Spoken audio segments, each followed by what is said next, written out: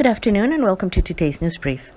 La Paz Mayor Rubén Munoz confirmed that all the beaches in the municipality of La Paz will close this week and will remain so until further notice. He also mentioned that the La Paz boardwalk will close to pedestrians and only bicycles and motor vehicles will be allowed along the boardwalk. Munoz also mentioned that they will increase the revision of the implementation of sanitary protocols in public transport and commercial establishments in order to verify that the recommended sanitary measures are being observed to avoid infections from COVID 19. The decision to close the beaches was made after last weekend the beaches of the municipality of La Paz registered large crowds from El Saltito to El Tecolote, El Coromuel, and El Tesoro, with crowds overrunning the authorities at the filters that were set up to control the access to the beaches, avoid an affluence beyond the 30% capacity allowed for public spaces and beaches.